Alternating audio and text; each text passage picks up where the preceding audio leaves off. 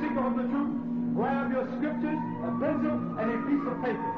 You are about to hear the most profound, dynamic, soul-stirring information ever to reach the shores of America. You are about to hear a true teacher, not a preacher. So come, let us step from the darkness into the true light with As-Sayyid Al-Imam Al-Hadi Al-Mahdi.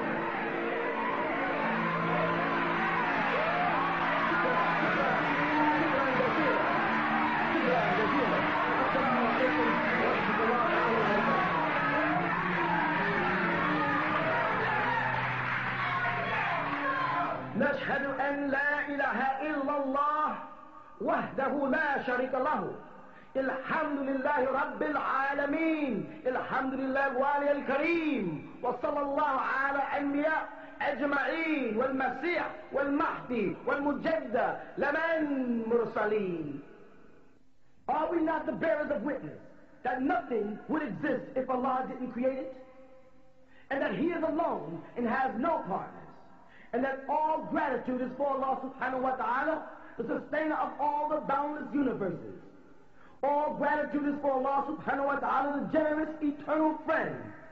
And send salutations of Allah on all of His prophets and His apostles, and on the Messiah, the anointed one, and on the Mahdi, the guide, and on the Mujaddid, the reformer, which was all sent from Allah subhanahu wa ta'ala.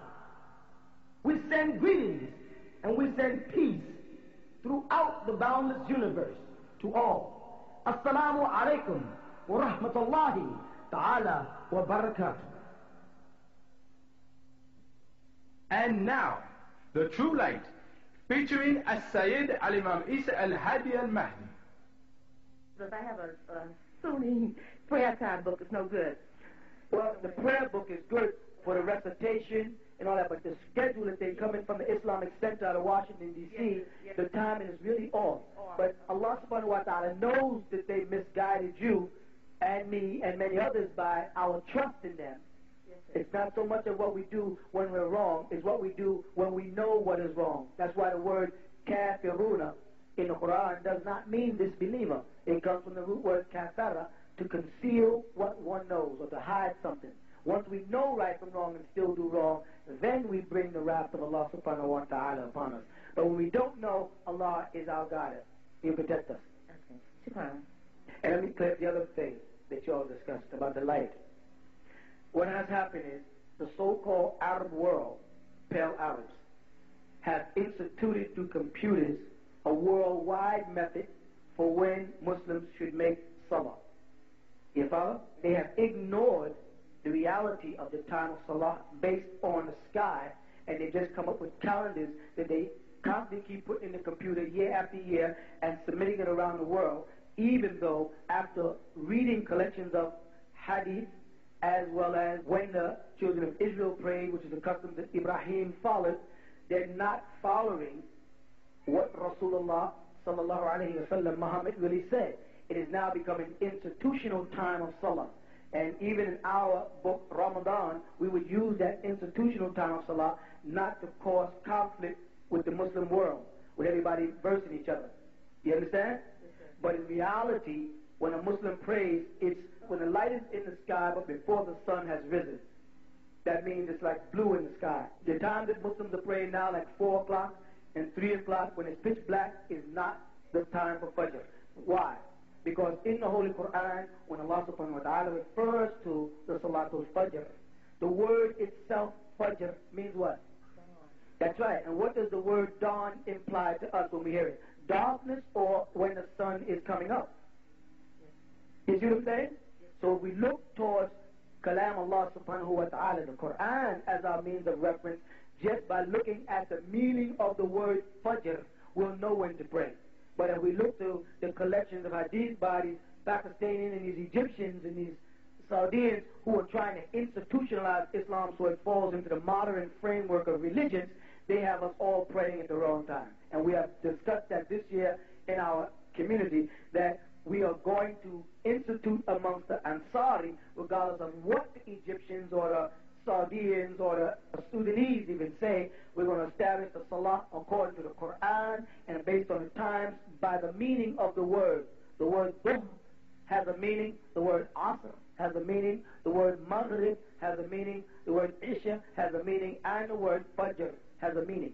And basing it on those meanings, we will get to what Allah subhanahu wa ta'ala wanted us to do, not the traditions of men, which so many Muslims have seemed to fall into. We all have fallen into the trap of following the traditions of men, and we've laid aside the laws of Allah subhanahu wa ta'ala. And it has reached that point where, I'm sorry, we don't care what the outer world says. We're going to do what the scripture says, whether they like it or not. And those Sunnis who are intelligent enough who will check our books for the reasons Forget whether or not they accept our doctrine or what we say we are, who we feel we are, but they investigate the reasons and uh, etymology of the words, the definitions, and what it ascribes to based on its meaning in the Quran, they'll be intelligent enough to follow. If not, they'll verse us and follow their so-called Sunnah scholars who are people who are leading people away from the Quran intentionally with these hadiths. Okay? They are Jews in disguise, and they were trying to hide the power of the Quran by burying Muslims in the hadith. So we wouldn't go back to the words of Allah. We'd be dependent on Bukhari, Shafi, Maliki, Hanbali, Tirmidhi, Muslim, and people like that, and not Allah subhanahu wa ta'ala. Okay? Um, I was hoping you'd be able to explain to me chapter, I mean John chapter 3, um, verse 11 to 16. The reason I'm covering that much is, actually I was want number 14, but I think if I went from 11 to 16 it would clear up more, because I think it's kind of short by just going by number 14. Uh, it says, Verily, verily, I say unto thee, we speak that we do know, and testify that we have seen, and ye receive not our witnesses. If I have told you earthly things, and ye believe not, how shall ye believe if I tell you of heavenly things? And no man has ascended up to heaven, but he that came down from heaven, even the Son of Man which is in heaven. And as Moses lifted up the serpent in the wilderness, even so must the Son of Man be lifted up, that whosoever believeth in him should not perish but have eternal life. For God so loved the world that he gave his only begotten Son, that whoever believes in him should not perish but have everlasting life. And uh, what I want to question is that number 14, that line there, just said, as Moses lifted up the serpent in the wilderness, even so must the Son of Man be lifted up. I don't understand. Turn to John chapter 8, verse 28, and it answers it literally.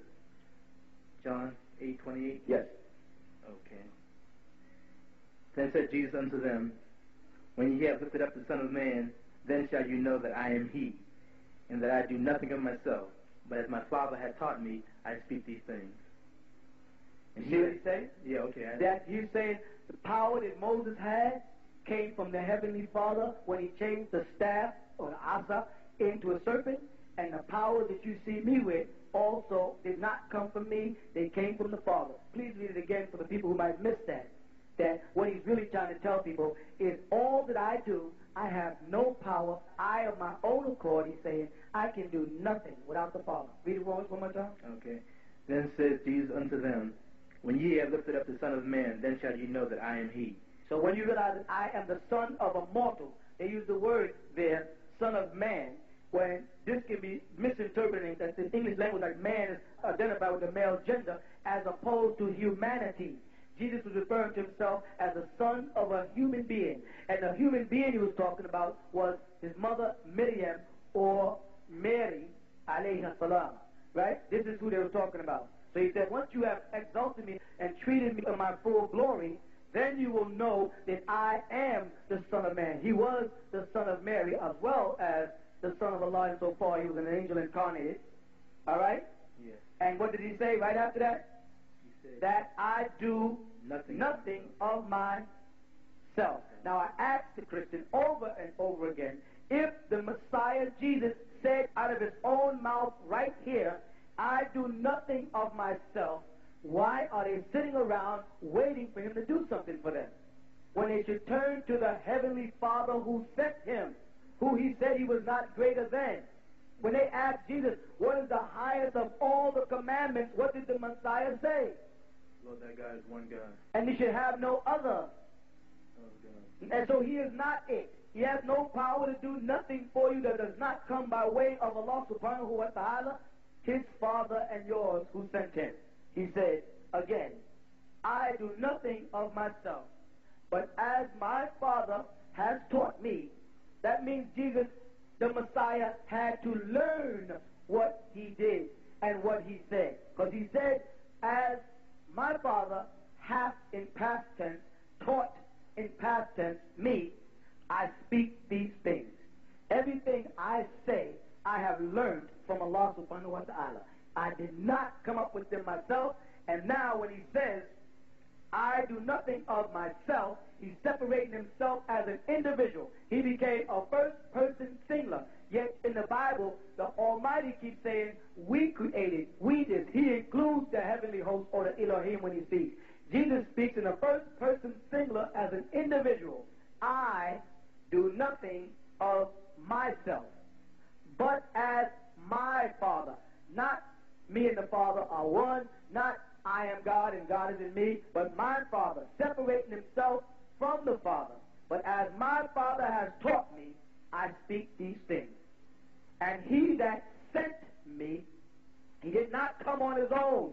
Like the Christians say, Jesus came down from heaven into a body. Jesus never said he came down from heaven into a body. He said he was sent down from heaven into a body. And who sent him down from heaven? He says it right here. And he, meaning the Heavenly Father, Allah subhanahu wa ta'ala, he that sent me is what? With me. Because Jesus said the same light that lighteth every man that cometh into the world in the book of St. John. That was the true light which lighteth every man that cometh into the world. And that comes all the way back to Genesis when the Heavenly Father, the Elohim, said, I blew my spirit into man and man became a living soul. When the Holy Quran chapter 15 says, and I placed my spirit inside man and man became a living soul. This is what he's saying. The Father is in me. When you see me, you see the Father because in me is eternal life and the Father never dies. So when you see me, you see eternal life. Then what does he go on to say? And he that sent me is with me. The Father has not what? Left me alone. Has never left me as one, as one alone. You see that? He has not departed from me. So don't tell me that when he was on the cross, the Father departed away from him. No way. For I do what? I do always those things that please him. I always do what pleases my Father. That's all. I always do what pleases my Father. And then he goes down after being questioned. And he spake these words, many believed on him. Then said Jesus to the Judites, which believed on him, those that did, what? If ye continue in my words, then ye are my disciples indeed. And And you shall know the truth, and the truth shall make you free. That's that verse that everybody likes to use, so, you know, they use it, use it, use it like it belongs to them. He's talking to the Judites when he says that. He says, any of you Jews that do believe on me, you will be freed. Any of the Judites, the tribe of Judah, that believes on me and the words that I'm teaching you, which he just told you in 29, came from his father, not himself, you will be free. Because they thought that the Messiah had come down from heaven to fight against Rome and to liberate Israel and free them from the bondage of Rome. So he said, well, if you accept my word, which I brought to you from the Father who sent me, you will be free. You see? You may not be free in body, but you will be free in what? Spirit, because you will have received the Holy Spirit. And also, one more question. Why do some brothers get the prostration mark? It shows up a little clearer on some brothers than it does others. Because some people, because they read that you get a prostration mark by prostrating, get on the floor and rub their head.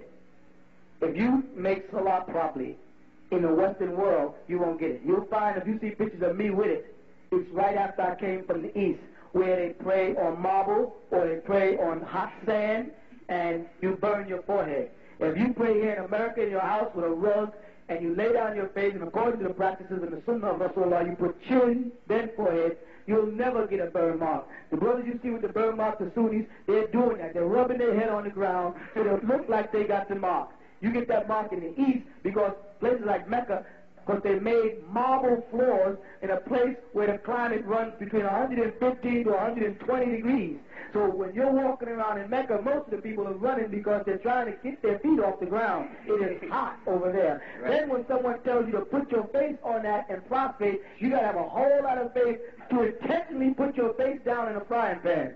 This is the part of the pilgrimage that people don't know. You go to a place like Sudan where it's 130, 112, 115 degrees and make prostration and hold your face down is difficult. And then the funniest thing happens is sometimes you get that fanatical imam who's a fanatical, instead of him just going, Subhana Rabbil Ala, Subhana Rabbil Ala, he goes, Subhana Rabbil Ala.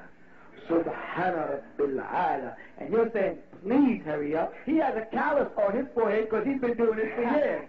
He, I'm serious, because he's been burning it on his head for years. You just come home to visit, Right. and now you got to put this first layer of skin on this hot marble. These are realities that people don't want to deal with. I have to call the things the way they are. A lot of people don't like that, but I say if you go to Mecca, it's not fun. You lose that spiritual part. You know, when you're on your way there and everybody's labbaik Allahumma labbaik, all that's beautiful. When you get in the airport and they start fumbling through your luggage and frisking people and asking you how long you plan to stay, how much money you got, what hotel, you know, it loses that. But Muslims only see it, I'm going to Hajj. So you're going to Saudi Arabia, a government where they're going to treat you like you're a foreigner who are coming on a tour. And then when you get in the hotel, they're going to be fumbling through your stuff. When you go down the street, there's a million people on the street in one city. That's real when you get over there. Don't nobody fool you. It's miserable. I always tell brothers from our mosque, if you're going to Mecca, go out of season first. Go to Umrah when everybody's not there, and then you'll see Mecca, you'll see the Kaaba, you'll see these things, and then go back for Hajj because you got the spirit in you. Right. You follow? And you know what you're up against. I got a four-part question to ask. Um, the first part is, uh, how does one receive the Holy Spirit? First thing a person must do to receive the Holy Spirit is become born again. That means they gotta rid themselves of all the things that they think is right. That's the biggest problem we have as humans. We got a whole lot of the way I see this, the way I think this is, the way it should be, instead of just the way it is in accordance with the words of Allah, Kalam Allah, in the scriptures. The Holy Spirit will descend upon you when the temple is clean. Follow? Uh, uh, the second part of it is, how does one feel physically, and uh, how does it affect your senses? When the Holy Spirit comes upon you, Yes. You may have had him visit you while teaching. You ever been teaching somebody and try to find a quote in the Bible and the Bible opens up to the quote for you? Mm-hmm. That was the Holy Spirit. That's what Jesus said. Just open your mouth and I'll put my words into you. They'll pass through you. It doesn't always stay there. Because in St. John's it says, He who you see the Spirit descend upon and stay there forever, that is the Messiah. You see, that's not you. So the Spirit will come down and pass through you. That feeling you get inside, sometimes when you're reading something and the truth just unfolds right in front of you. And there's a strange feeling of a sensation, a joy that settles in your heart. You ever had that feeling? Mm-hmm. That's the Holy Spirit moving in you. And that can make you get up and shout. But it won't throw you on no ground. You feel good, but not good enough to bang your head on no concrete. You follow? Mm-hmm. Okay, how do you maintain it?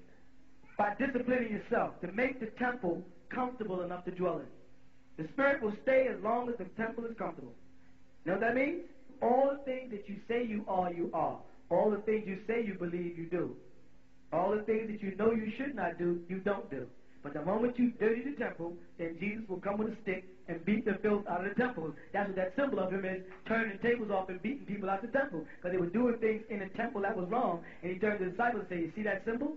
They didn't understand what he's talking about. You are the temple, he said, because he said, destroy the temple and I'll raise it in three days. And he explained later, they were talking about his body. Your body is the temple. If you don't purify the temple, you still got the bad habits and the bad thoughts and the bad dreams and the bad aspirations, then the spirit can't reside in you. You have to make the temple clean for the spirit. That's why he told those people who wanted to stone that woman for harlotry, he said, let him without sin cast the first stone. Within a couple of minutes, only him and that woman was standing there. Everybody else had walked away. Because how many people in that room can say, I am totally sinless? How many of y'all in that room can say that? I am totally sinless. Everything I know is right, I do. Everything I know is wrong, I shun. Who can raise their hand in that room and say, I am totally sinless? Because if you do, that'll be your first sin. Go ahead. Uh, can you uh, have? Uh, you said cleanse yourself. Uh, can you uh, cleanse your spirit and your mind, and but your body will be unhealthy? Do can you receive the Holy Spirit even? No. It's a total commitment. It's all of you. You just the person can't say, in my heart I'm good. See, if that's the case, then the Almighty would have never put the truth in books. He would have just put it in everybody's heart. People are underestimating the power of the Father when they say stuff like, as long as I got Islam in my heart, that's all it counts. Because in that case, if Allah thought your heart was so powerful, He would have put it inside there. Why did He put the Quran in a book and make you digest it when He had the power to just put the whole book inside you? Because there is a part of it that's physical. There is a part of it that's disciplined. Because the temptations of the devil can't work on the soul. They can only work on the body. And the body interprets it for the soul. They have to put physical naked women on television to plant the thought in the mind for the soul to interpret it as lust. You understand? The devil works from the physical back to the soul. He cannot touch your soul. Your soul will burn the devil. You understand? So everything he does to you, he does by seduction. He does it by manifesting things in the physical world. He gives you interests in the physical world. And things in the physical world what pulls down your soul. And eventually you give your soul to him. When you start living for, of, and by him. You and all of us have been guilty at one time or the other being around white people and trying to talk like them. You feel talking like white people makes you more accepted. And straightening your hair makes you more accepted. And dressing like white people and shaving your beard makes you more accepted. Makes you accepted by who and what. You know what you're saying? You're saying, devil, accept me. I'm not talking to the white man as a devil. I'm talking about the image that the white man projects in the devil because everything he projects is lust. The bathing suits are getting skimpier, the pants are getting tighter, the fake hair is getting longer. It was bad enough when black people had jelly curls. Now they got some dead person's hair in their hair. Or some animal, or some plastic braided into their hair, and they think they look like Marilyn Monroe. You got to get away from that Alice in Wonderland, dear. Because you are not Alice, and this is not your land. You follow that? Y'all got to get away from it because it don't apply to you. All the commercials on television is for his people. They ain't making no lady. You, you know what Lady Clairol does to black people's hair? That's for them. Because if they don't do that, they look like a dead dog. And they don't groove their hair. They don't put blush on and eyeliner. They look like an uncooked sausage. Black woman, you don't need all the artwork. The Almighty gave you the artwork. That's why everybody in the world goes to beaches. They go to beaches to become black. They just say tan. Then when I say I'm black, they say, you're not black, you're brown. You're not really black, you're a Negro, you're brown. Okay, suppose I start saying I'm tan. Then what will they have to do? Change all the tan stuff to something else? Yeah, they'll call it copper tone. And then if I start saying I'm copper tone, they'll have to change it to Negro.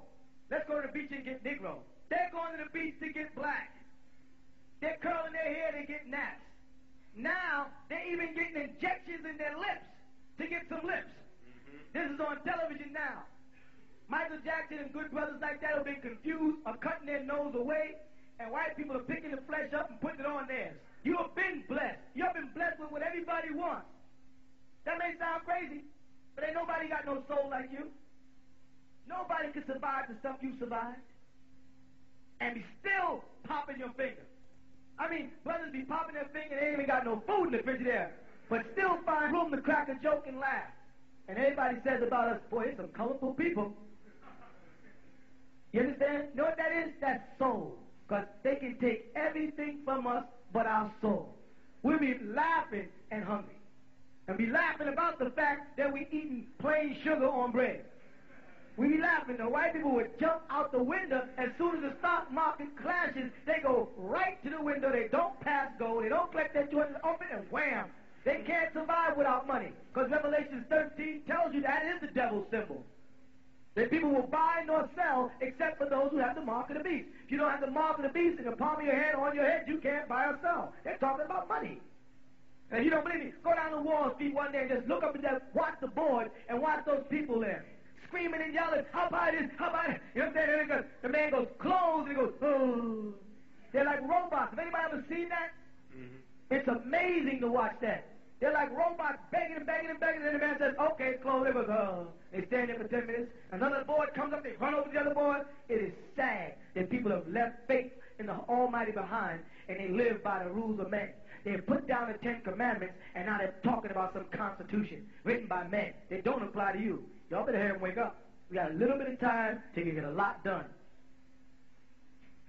Okay, and uh, I don't know if this may seem like a silly question, but when you receive the Holy Spirit, where does it put you in respect to Allah subhanahu wa ta'ala? It makes you a son of Allah. You change from a son of man to a son of Allah. And That's what Jesus was trying to tell him. He kept saying, I'm a son of a human being. He used the word bashara in certain places and insan in other places. The word bashara, when it says that, means mortal. The word insan means human being. So he kept saying, I am Ibn Bashara, I am Ibn Insan. And he was referring, people say man, and the psychology there is that when you say man, you keep thinking it's talking about a man, and it's not. It's talking about a woman. And the woman he's talking about is his mother Mary. When he said, I'm the son of man, you see, man is not a gender. Man can be male or female. When Jesus was saying that, he was trying to tell them that I have a physical mother and a spiritual father. He would say, I'm the son of man and I'm the son of God. And they wouldn't understand what he's talking about. The son of man meant that he was the son of a human being, Mary. And the son of God meant that he was the son of an angelic being, as the brother said, the Holy Spirit, Gabriel. The combination made this unique creature the only begotten of the Father in his time, full of grace. Jesus the Messiah. So yes, once you purify yourself and the Spirit starts to control you, it starts to re-educate your soul, then you are a son of God. And that's what Jesus said. As many as believe on me, to them I give the power to become the sons of God. Okay? Three things taking place here on earth for the change. One, the Father came. Second, the Son came. And third, the Holy Spirit comes. After this, then it will be a new heaven and a new earth. Could you explain now if I'm correct? If you look at it from that order, you must start from the book of Genesis. All right? Yes. And in Genesis, when he speaks about the creation of man, he says he blew into man of his spirit, and man became a living soul. Yes. Correct? Yes. That is the Elohim talking, because he's speaking from a plural. He says Elohim. He put his spirit into man, and man became a living soul. Mhm. Then that's the Father. By the time we get to Jesus, now we're down to the Son, as you say, in St. John. And he says, In him was the light, and the light was the light of man. The light shineth in darkness, and the darkness comprehendeth it not. Right. All right? They say that the same light, number seven, the same came for witness, to bear witness of that light, that through him all might believe. Right? He was not the light, but was sent to bear witness of the light. Right. That was the true light which lighteth every man that cometh into the world. The point I'm trying to make is the light of the Father, the light of the Son, and the light of the Holy Spirit are all one light. The same light which lighteth every man, and not three separate lights.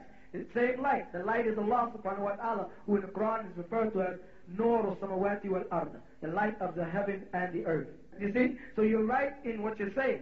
It's just we got to be careful that we don't violate the highest of all the commandments, is what Jesus said, and that is that the Lord thy God is one God. We don't make that mistake, and then people say Trinity and don't understand what they mean. Yes. So the light of the Father, who he breathed in man in the very beginning, the light of the Son, which Jesus is speaking about in St. John's, and the light of the Holy Spirit, which will come in Muhammad again as a comforter, is still one light. Allah.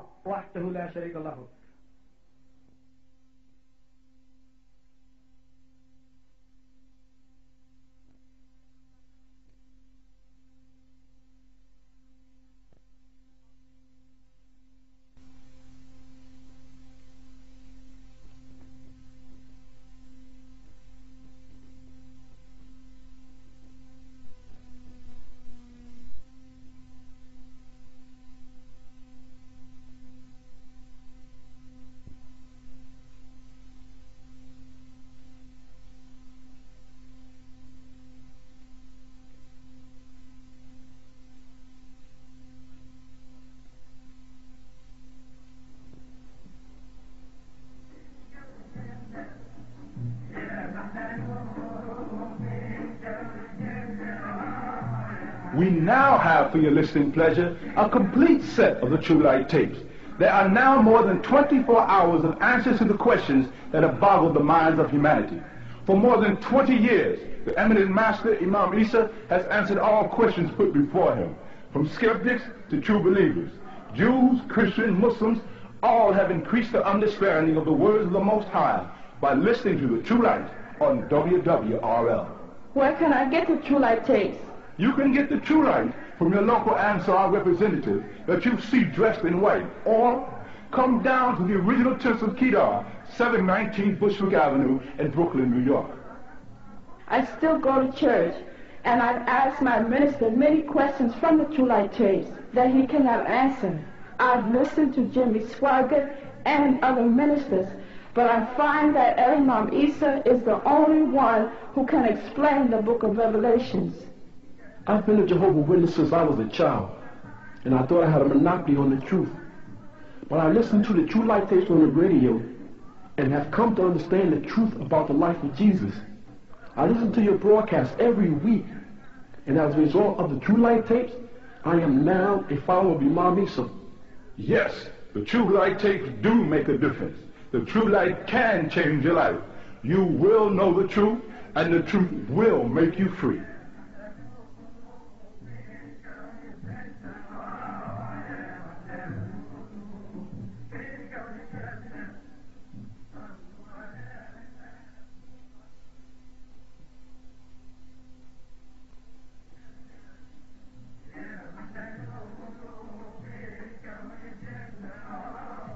And now, let us return to our broadcast. Here, I it is it is a symbolic term anyway. The word light, because Yeah, light. uh, it is it is it is uh, light here means teaching. No. in the No, present. no. Light here means life. He says it right in the scriptures. He said the light is the life in man. It's not teaching. And that's because in Genesis he said, I blew into man of the breath of life, and man became a living soul, and soul is symbolic as illuminating, as having an aura, you see? So there is wisdom and knowledge and understanding in possessing the light of the Heavenly Father. But light is really symbolic of the breath of life, according to the scriptures. The light was the lighting man, it says. Okay, this Zion that uh, is on the mount, and with him is 140 and 4,000. This revelation here, is it that it is already, because all of it is fulfilled already. Okay, let's say I'm from the tribe of Levi, which definitely I am. If you all turn to the book of Psalms, verse 48, 11, it'll tell you that Zion is Judah. Zion is not all the tribes. Zion is the tribe of Judah only. The book of Psalms 48 will tell you that. 48, 11. 48:11 reads, Let Mount Zion rejoice, let the daughters of Judah be glad because of thy judgments. Walk about Zion and go around and go round about her, tell the towers thereof. If you go to 2 Samuel, the fifth chapter, the seventh verse, it'll tell you that Zion is in a place called Jerusalem, the city of David. 2 Samuel 5 verse Seven. Nevertheless, David took the stronghold of Zion. The same is the city of David. Now, when you use the word Zion, the first thing is to realize that the word within itself means hilltop. It's an extraction from a high hill in the city of Jerusalem. The modern day version of Zion, as put together by Paul, the fabricator, is that it represents heaven. There is reference in Revelation chapter 14 to Zion being a heavenly abode that will come down out of heaven in the last days as the tabernacle of the Most High. When you mention a tabernacle, you establish two things. You establish a place of worship and a place of dwelling. The books of Numbers, chapter 2, verse 2, tells you that the tabernacle was not merely just a place to worship, but it was also all the tribes of Israel was told to set up their tents there. Read books of Numbers, verse 2. Bismillahirrahmanirrahim. Every man of the children of Israel shall preach by his own standard, with the ensign, ensign of their father's house. Far off about the tabernacle of the congregation shall they pitch. Now, what would happen is there was a holies of holies, which was equivalent to what we call Mezmor or Masjid or Jama, the place where the high priest, the tribe of Levi or Loia, which is the Levite tribe of Beni Israel, who perished thousands of years ago. They were the holy of holies. They were the ones responsible for the rituals that took place in the sacred province of the temple like imams or sheikh or kohen or rabbis do in the synagogues. Then they had outside had curtains of tents where they had the altar set up which was the Ark of the Tabernacle, where they would have their sacrifices to the Most High, and they would put their offerings on those altars and sacrifice them. Outside that, they had 12 tents set up, and each one of those tents symbolized the head point for the 12 tribes of Israel in their day and time. By the time we came down to the Messiah, Isa, or Yeshua, Jesus, the 12 tribes had perished. So David, who was doing most of the predictions for Jesus' lifestyle, predicted that Zion would be Judah. And that's why Jesus, the Messiah, said he only came to the lost sheep of the house of Israel only, which represented the tribe of Judah, because he said, I came to my own, and he was of David through Judah. The only tribe of the tribes of Israel that exists today is the tribe of Judah. There is no Levite tribe. There is no Benjamin. There is no Ephraim. There is no Manasseh. And the tribe of Dan mixed in with Judah when they migrated south through Eden and into Habashia, which is now called Ethiopia, and became known as Phalastinians. And those tribes were the Danakil tribe today who moved up into Sudan and Nubia and mixed in with the family of the Fatimites who came up out of Arabia down to Egypt into Nubia and became known as Islamic Hebrews in the land of Nubia. They are a combination of the tribe of Judah, Danakil, and the seed of Fatima, Hassan, and Hussein who migrated over into Nubia, and out of that seed came Muhammad Ahmed El Mahdi. When you say the word Mahdi and you remove the meem, you get the word Huda, which is the root word for the word Judah or Yahuda, the same side. The name Mahdi is another way of saying he identifies with the tribe of Judah. You understand? So when you mention tabernacle and you mention Zion, remember Zion in the ancient times was a place. It applied to one tribe in the future, as we just read, which is the tribe of Judah only, because when the Messiah, Jesus came, that's all he was looking for, the tribe of Judah and Judah only. Could you find in the scripture where it is written that this world will be never left without a witness? Which verse would you find that in the Bible? I haven't seen that in the Bible. You showed me that in the Bible. I know in St. John chapter 16, when Jesus speaks about the coming of the Prophet Muhammad, who he refers to as the Comforter, when translated, which is the Parakelos, in the Greeks, which comes out to the word Ahmed, or which is short for Muhammad, in the books of St. John, chapter 14, 15, and 16, and he said, I will never leave you comfortless. I will never leave you without someone like myself, is what he meant. And then he said in chapter 16, I will send unto you another comforter. But he was not to be from the house of Israel because the prophet Moshe, which we know as Musa, alayhi Moses, told us in the books of Deuteronomy, chapter 18, 15 to 20, that he was going to send a prophet from amongst the brethren of Israel, not an Israelite, but outside of Bena Israel, from the seed of Ishmael would come that seed.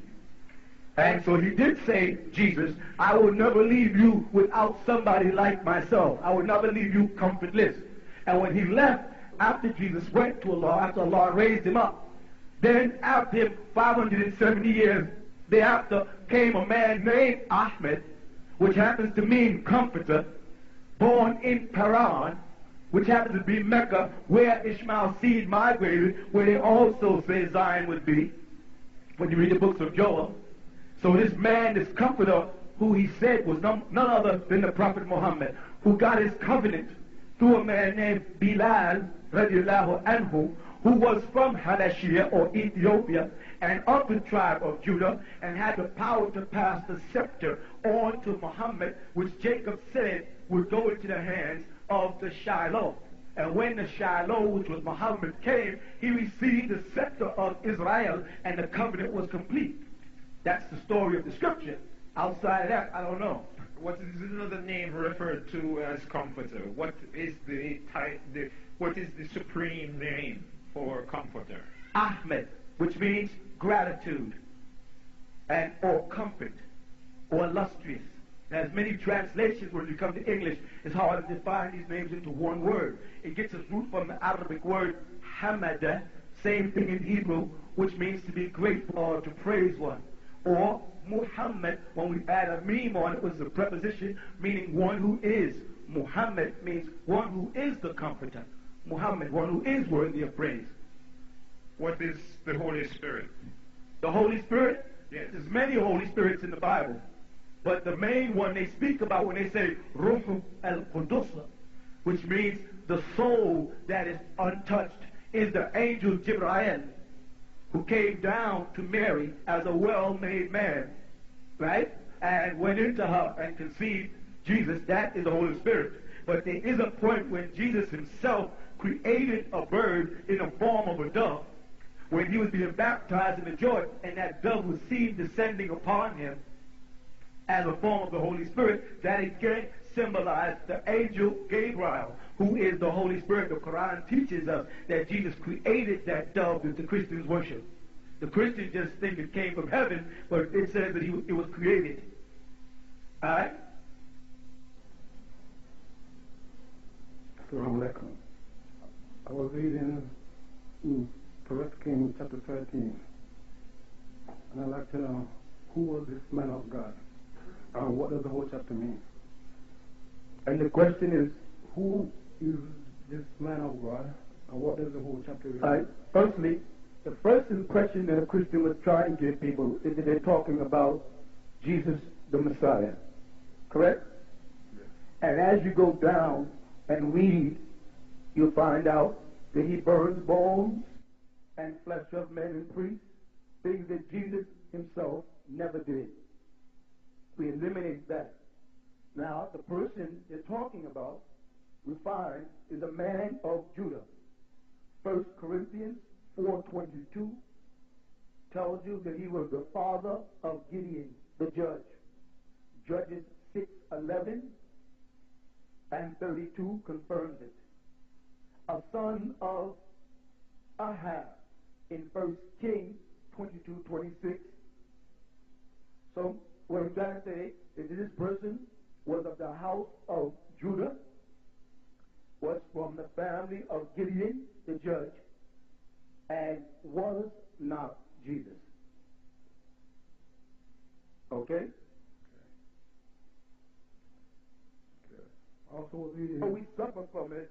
The Christians was having a very serious time trying to convince the people of the Judites, the Nazarites, and the Pharisees that Jesus was indeed the Messiah.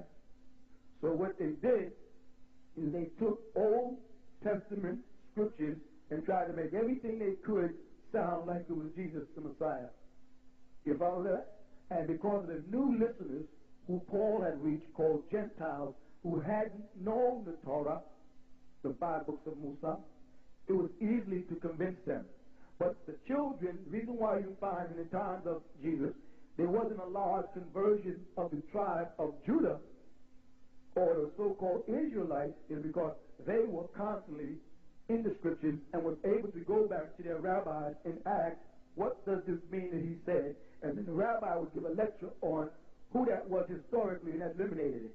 They didn't get their strong growth until Paul because the people who Paul was teaching were Gentiles, meaning going or those who were ummiyah, who were illiterate and did not read the scriptures, and they had no form of reference, so they only believed what Paul and them propagated. You understand? So a lot of times people are being misled by Christians into thinking sections in the Old Testament pertain to Jesus because the people who followed uh, Jesus' disciples and the people who followed Paul were two different people. Okay? I was, also reading Psalm 87, and like in verses 4, 5, and 6, you mentioned certain people. But I, I'd like to know who, who they are in Psalm 87. What I'll do is I'll point out just one of them because these are just people. The name, of course, Rahab, means to be broad. And that was a harlot of the time of Jericho. You'll find that in the books of Joshua 2, uh, verses 1 through 21, and 6, 17 to 25. That's who, what happened was. Each of the other names are describing people. Cyrus was a, a person who established a place, and that was a Sidionite. Philistia was a person who became the father of the Philistines. And they didn't have the word Ethiopia in there. There was no such thing as Ethiopia back then. It was called Kus. In the scriptures, in Hebrew, as well as ancient Syriac Arabic, we have the word Kush, not the word Ethiopia. The white man is slick. He thinks by telling you something like Ethiopia, he can direct you into the wrong direction and flatter you at the same time. It was not Ethiopia, it was Kush. And Kush is in the land of Nubia to Sudan. The Ethiopians are broken up into three people. And a lot of a lot of people, especially amongst the Rastafarians and them, are being misled because they haven't taken the time to analyze Ethiopia. In Ethiopia, you have the Habashians, the Eritreans, and then you have the Falashians. The Falashians got the name from the Habashians, another word for Ethiopians. And they were migrants who came from Israel into Ethiopia, as it's called today, and moved up into the mountains. And they are the tribe of Judah. The standard Ethiopian is not of the tribe of Judah. He is no more than the Somalians who migrated south and mixed in with Indians who migrated north. That was in Ethiopia. The Eritreans is nothing but tribes of Somalians also who migrated western part of the continent. So what people doing when they pick up the language Amharic, they're picking up a Christian Coptic language, which is not a biblical language. They're confused it with Aramic, which is from Aram, which goes all the way back to the son of Shem, and that was the speed of Cush. And if, every time the white man wants to trick us, he puts the word Ethiopia instead of Cushite. Because if he puts Cushite or Kushi, then he'll be telling you that these were Nubians and Sudanese. But if he puts Ethiopia, he can direct you to a part of Africa that he controls by Coptic Christianity under a hypocrite who they refer to as Haile Selassie, who was not of the line of Judah, not of the house of Israel. If he was, he would not have had an Amharic name. He would have had a Hebrew name because his bloodline would have came directly from, he would have been something Ben Judah. We human beings called him Judah, the line of Judah. His name was Rashana Haile Selassie, which is Amharic, not Aramic, which is uh, Semitic, not Arabic, which is Semitic, and not Hebrew, which is Semitic, but a Coptic language, which got its origin in Greek. Okay? And if you look at Amharic and look at Greek, you see the similarity. Okay, so I also showing television last week about the Danakil tribe in Ethiopia. Who are the Danakil? The Danakil tribe? Yeah. The Danakil tribe are the seed of Dan. Because on studying the scriptures, you know that Dan followed Judah. Some of Benjamin and some of Dan were seeds that came and went south with Judah. Most of Benjamin did not, but Dan did. When Dan migrated north and left the tribe of Judah behind and migrated north, they ended up in a place that was called Nubia, and the village they set up was called Danakala, which came known as Danakala or Dongala, which is Dongalawe, which is where the Mahdi seed came from, which meant that he was indeed not merely an Ishmaelite because of his mother being a Jaliyah, uh, but also an Israelite because of his descendancy migrating up there from the tribe of Dan, Danakala, which was indeed mixed in with Judah. Okay? So Danakil is nothing but the tribe Dan having migrated to Ethiopia, as it's called today, with Judah and mixed in with them and then went north. I'd like to know that why do some of the Muslim sisters, you know, have to go to the white man's hospital? Why can't one that like, you know, deliver here or whatever? Viewers in the community, in the community, you hear me say multiple times, why are y'all going to hospital? You could be standing right in front of me with blood coming out your head. Literally. And and I can stop the blood and I won't. Because you don't have faith. And just because a person is in the mouth, it doesn't mean they have faith. Do you understand what I'm saying? I've watched people sick and they say, heal me, and I say no. Why should I channel my energy to you and then you're not going to? Let me tell you what Jesus used to say in the scriptures. Once he healed the person, what was the first thing he said after that? Did you did anybody ever pay attention to that part of it? No. All they pay attention to is when Jesus healed the person, when he healed the leper, when he healed the blind, when he raised the dead. They like that part of it. But the part where Jesus said right after that, now go and sin no more. Nobody wants to hear that part of it. Because the moment I do something for you to cure you of anything in the name of Allah, and then you go commit another sin, you're twice as sick. A double portion of evil comes upon you. Do you understand what I'm saying? It'll still be bad for you. And it's worse. So you don't experiment with people's souls. So many times people come to me and say, I'm sick, and I'll say, you haven't even made the first step of coming into the tabernacle, but you want me to remove some illness from your body. Just for you to go back in the street and do wrong again. I'm not doing you a favor. I'm hurting you. If you're going to devote yourself to the will of Allah subhanahu wa ta'ala and spend that time in his tabernacle, then you have his guidance. It doesn't make sense for me to step in when you have not even made a commitment to him. Right. You have to make a commitment to Allah subhanahu wa ta'ala. You must be born again. You must be served to get that evil out of you. Otherwise, it'll keep attacking your body over and over and over again. There is no sickness that there is not a cure for, either physically or spiritual. There's none. No sickness that cannot be either cured physically or spiritually. You understand? Yes. And if people would tune themselves back with the spiritual world, they will not get sick so much. Right. They have to be in tune. You have to be on station without all the feedback and the noise coming through. Right. With the feedback and the noise and the temptations of the world. You all want the blessings of righteousness, but you want to live in sin. You want to say you're righteous and still do evil, and still do wrong things, and still sneak. It doesn't work like that. If you want the blessings of righteousness and purity, then you have to vow to the Heavenly Father that you will sin no more. Now, that's a hard statement for you to make. And once you know you're supposed to make it and take your time, the time that you waste not coming to Allah, subhanahu wa ta'ala, on Yawm al-Akhri, which is the last day, will be multiplied one day per thousand years. Let me make that clear.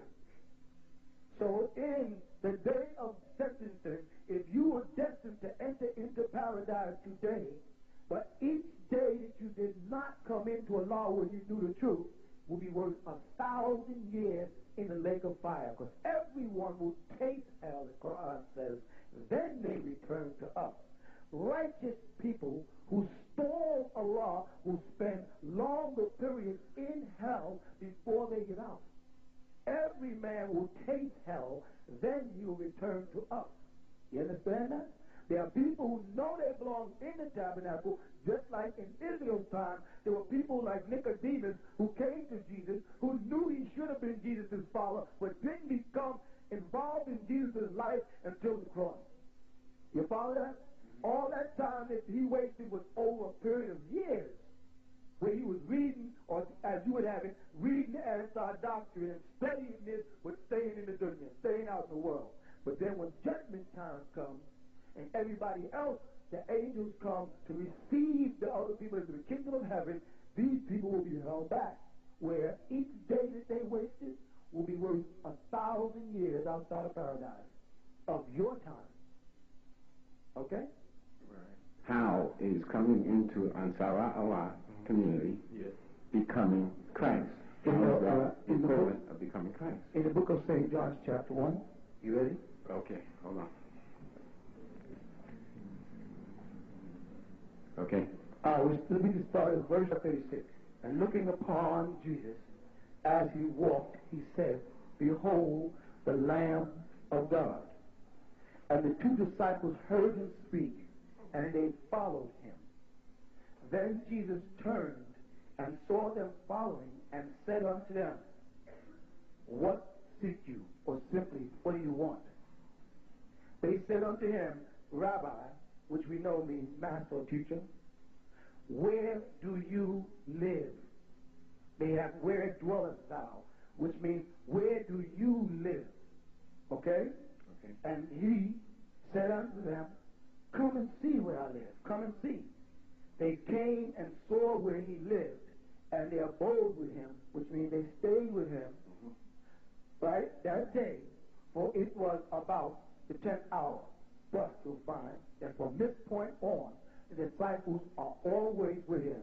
That day they stayed because of the Sabbath. But from then on, those disciples went every place Jesus went, they followed.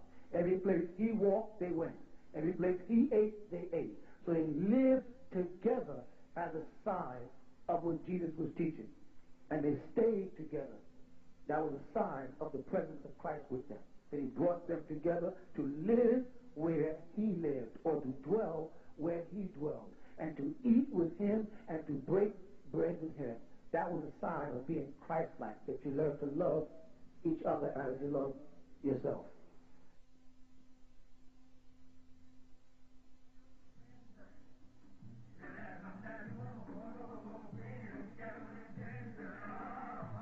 You've been listening to The True Light, sponsored by the Nubian Islamic Hebrew Mission and the original tents of Kedar, 719 Bushwick Avenue, Brooklyn, New York, where you can come and purchase the True Light tapes and the latest edition of the Pamphlets of Peace as authored by As-Sayyid Al-Imam Isa Al-Hadi Al-Mahdi.